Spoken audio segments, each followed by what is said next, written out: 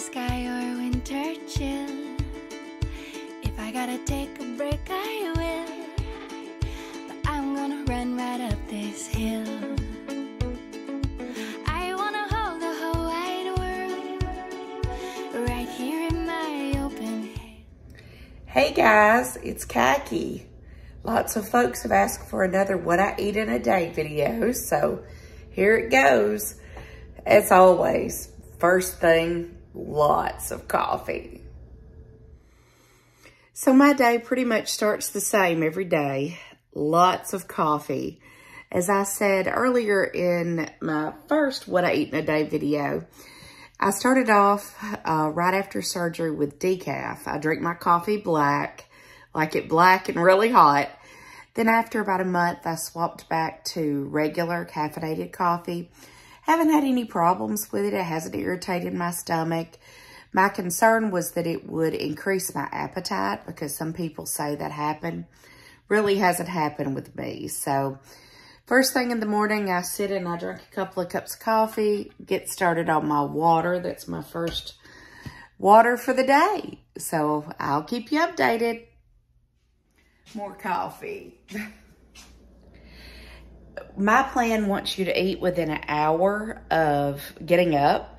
I'm not hungry first thing in the morning. So a protein shake really, you know, kind of gets things jump started for me. I don't particularly like the artificial protein, sweeteners, that kind of thing. But, you know, I find that if I don't do a protein shake in the morning, my whole schedule gets thrown off.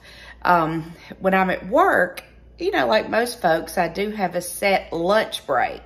So if I don't get things going, I'm starving before that first break. Well, not really starving, but kind of hungry.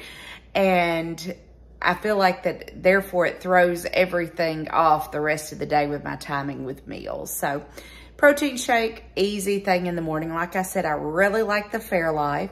I also like uh, the Premier Protein, but only in the chocolate peanut butter and the cafe latte. I Don't care for the other flavors.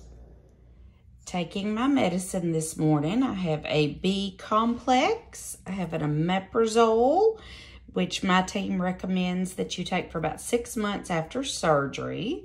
And then got an allergy pill, just a few various things. I've also got my calcium chews packed for the day. About to head out.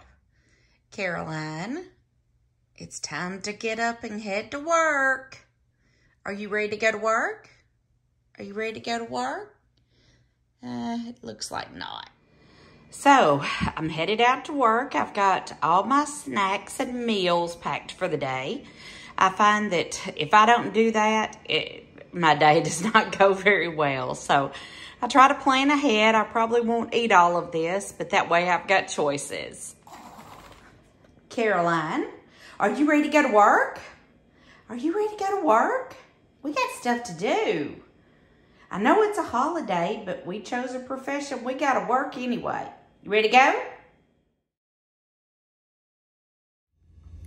So it's about 10, what time? 10.35. I've taken my first calcium chew of the day. I did finish my shake about 20 minutes ago. Takes me a little while to drink one of those. I want to make sure it stays down and goes smooth. Hey guys, it is 12.07, so it's lunchtime. This is what I'm having, which I will put in a picture. I'm having uh, it's 2.3 ounces of salmon and about a quarter cup of the Kevin's uh, cauliflower mac and cheese. Haven't had that before, but it looks awesome. It smells really good.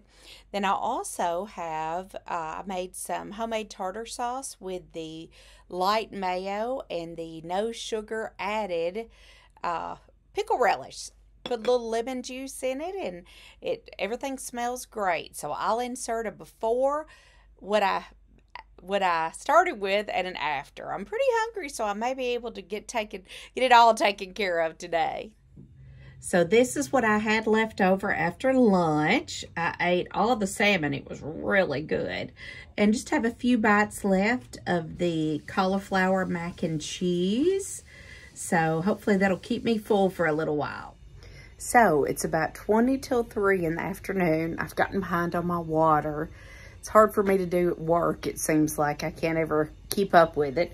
But I have my water refilled and I'm using the tropical uh, pineapple mango drops in it. Also, about to do my next calcium. Like I said earlier, my dietitian told me that as long as I get in one protein shake a day, just have to do calcium twice. So that makes things a lot easier. It's, you know, the more you have to do something, the less likely you are to get it all in.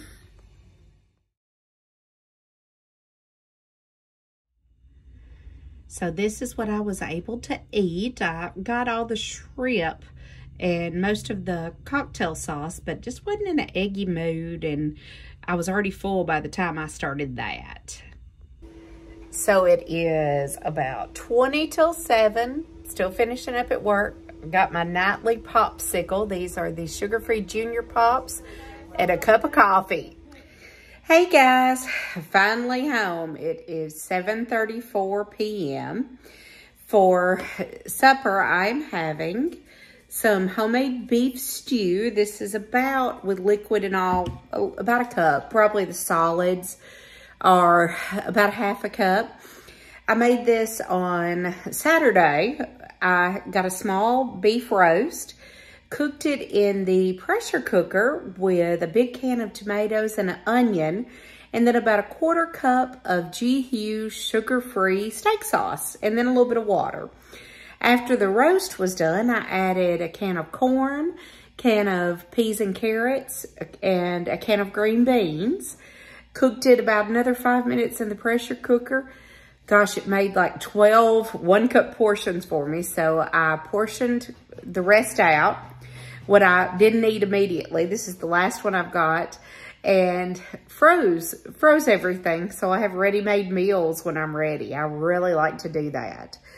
You know, when I first started eating soup, I asked the dietitian, you know, you're not supposed to drink with your meals. So what about soup? And she told me just to kind of, with your spoon, take the, the fluid, the, the liquid off and drink it, then eat the solids. So that made sense to me. But anyway, I'll let I'll put in a picture of before and after. So that was so good. I ate every bit of it. Um, also, I, I forgot to mention one other thing I put in the soup was some mushrooms. But, you know, it really, when you, I find that cooking meat in the pressure cooker works the best for me to tolerate it. Preserves a lot of the moisture in the meat. Doesn't tend to get stuck like some of, you know, things that are broiled or cooked other ways do. So anyway, that was good. I finished it off. It is now about 8 o'clock and looking at my calories and what I've had today, uh, and knowing how I usually am before bedtime, I'm going to fix myself a little bit of, a snack before bedtime. I'll keep you posted. So, it is about 10.15 and this is my bedtime snack. I have cucumbers, some uh, little baby carrots that I cut in half, some sliced bell pepper. I've got yellow, red, and orange. Got pickle. I love pickles celery, and then this is a dip that I made with non-fat Greek yogurt and the ranch dressing powder. Tastes great, much better than regular ranch dip, plus it's got a whole lot more protein. Uh, it's about a quarter cup of that. As you can see, this is a small plate. I will likely finish this off. I love vegetables, so this is like my real treat of the day is to eat a little plate of raw vegetables. So I will update you in a little bit. Also filled up my water bottle, having my last water bottle of the night. Drank some before I ate. Of course, I can't drink for about 30 minutes after, so I'll let you know how my water intake goes. We'll wrap it up with my final uh, calories and macros. Hey guys, we're back where we started from. So I think today was a really good day. I had a lot of good quality protein and in salmon and shrimp and I, my beef stew. Feel like I got some vegetables that my body really needed. So at the end of the day, I like to go back and look at my calories and macronutrients. It's not that I count calories, but I just like to keep an eye on those. So today I had talking about the um, macronutrients. I had 19.3 grams of fat, 20.3 grams of carbs, and 85.1 grams of protein. So let's see if that will tell us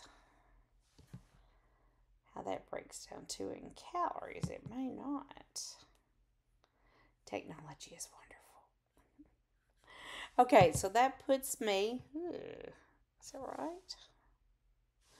I'm looking at yesterday. Okay, so that puts me at 616 calories today. A little bit less than I like to get. Um, you know, my dietitian recommends six to 800. I, I tend to like to be on a little bit higher, closer to that 800, but I feel like I did pretty good overall. But you know, this is just an example of how I eat in a day. It changes day by day. I would love for for any feedback on maybe what you eat, some suggestions you might have, some go-to meals that you find yourself eating very often. I'd love to hear from you. Everyone have a great week. I will be putting out my weekly video soon. So I hope you've enjoyed this. Bye-bye.